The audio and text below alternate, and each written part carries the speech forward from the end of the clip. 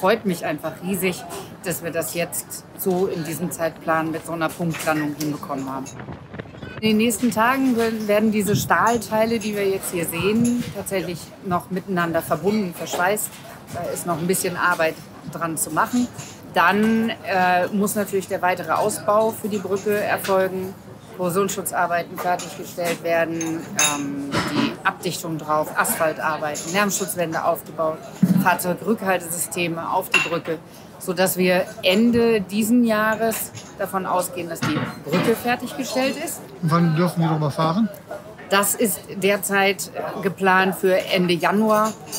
Ist ein bisschen witterungsabhängig, Asphaltarbeiten in den schlechten Jahreszeiten. Wir werden sehen, aber ähm, das ist der Plan, Ende Januar endlich wieder den Lkw-Verkehr über die Brücke schicken.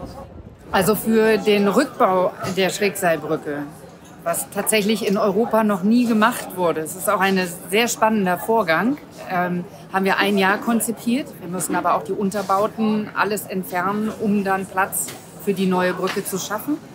Und dann werden wir danach eben die neue Brücke dort begonnen. Da haben wir im Moment auch eine Bauzeit von drei Jahren konzipiert, sodass wir davon ausgehen, dass wir Ende 2027, Anfang 2028 hier wirklich beide Brücken stehen haben.